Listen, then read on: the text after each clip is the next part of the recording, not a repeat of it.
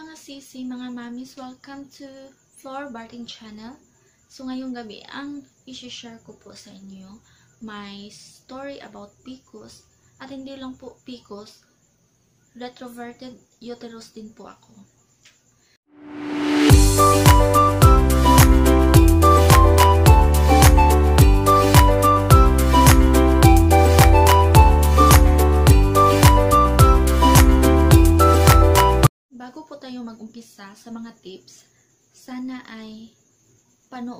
Ito hanggang matapos ang video ito mga mamis. Kasi kung matapos niyo ito, ma-inspire talaga kayo sa mga na-experience ko. So, yung retroverted na na-mention ko kanina, i-explain ko mamaya.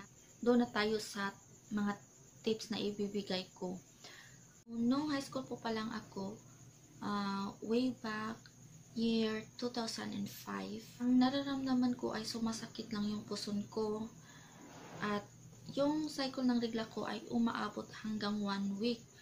Tapos may isang beses na umaabot hanggang 15 days. So, parang binabaliwala ko lang yun. Nung nag-college na ako, third year college ako that time. So, kung sumasakit yung puson ko, para akong mahimatay.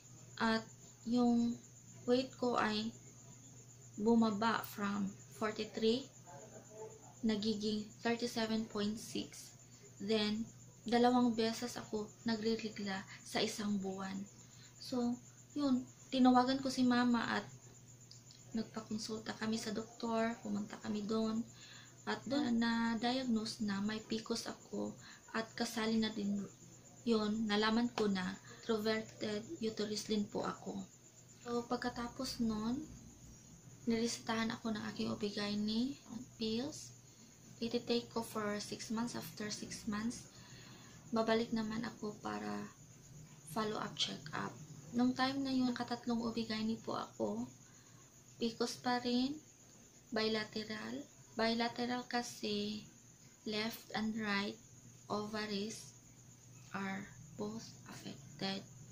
So, same pa rin, retroverted uterus, nung nakabalik na ako sa probinsya namin, uh, may work na po ako.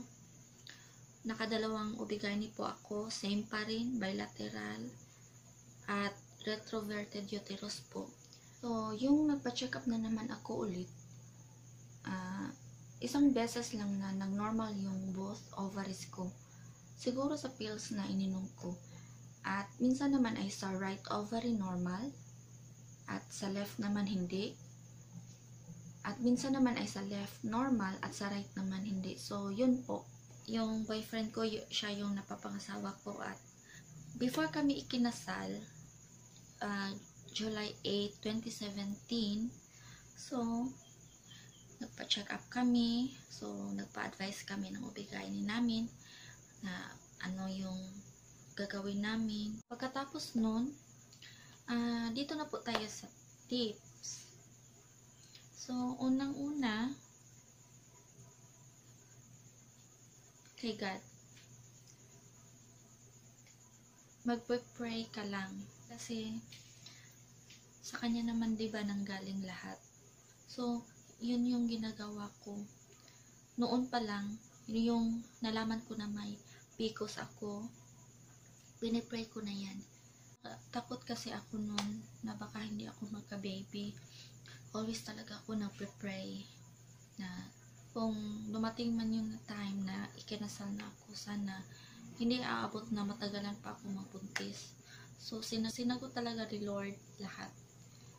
Second tip, kung ano yung advice ng doktor, sana ay susundin nyo. Kasi yung nireseta niya is ma uh, ginseng nakalimutan ko talaga basta ginseng yun. Uh, basta kung makapunta kayo sa ubigay ninyo mag-advise kayo kung ano yung karapat dapat sa inyo. Kasi yun yung nireseta sa amin. Kasi kami dalawa stressful yung work namin. Yung husband ko 24 hours. Ako 12 hours abot hanggang 14 hours. Then, niresetahan din po ako ng folic acid uh, preparation for pregnancy na maiwasan yung ano, maiwasan yung mga abnormalities yung first trimester development ng baby. So, doon sa ano, retroverted uterus na sinabi ko kanina. So, ito po yun. Ano, ito. Kung, yan. So, ito po yung, kung ito yung, ah, ito yung chan, ito yung, ito yung uterus, ito yung normal, uh, antiverted. So, yung uterus dito na antiverted is paharap siya. Dito nakaharap sa chan. So, ang nangyari sa akin pag ganito, ito yung chan, pag ganito siya, nakpatalikod. So, ang advice ng doktor ay, ano, may style, pwedeng doggy, or ano, kung Pagkatapos ng contact, lagyan ng uh, unan dito sa likod, 15 to 30 minutes. Hmm.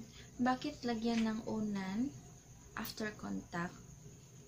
Kasi para uh, maiwasan yung flow ng similya pabalik. Yun po ang advice ng doktor. Uh, may nakalimutan po pala ako yung nireseta ng doktor ay ovulation test kit, same lang sila ng pregnancy test kit. So, kung magko-collect ka, using your urine sample. So, yung ovulation test kit ay madedetect niya kung nag-ovulate ka that day. So, nung uh, after wedding namin, so nag-try kami, uh, first try, second, and third try, uh, hindi ako nabuntis.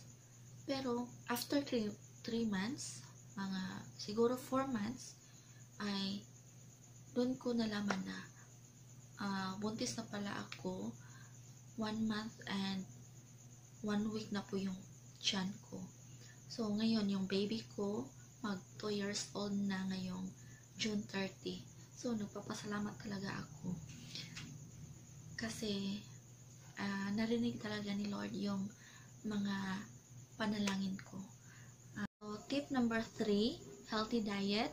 So, yung advice ng obigain ko, i-maintain ko lang yung body weight ko, iwasan ko magpataba para madali lang daw akong mabuntis.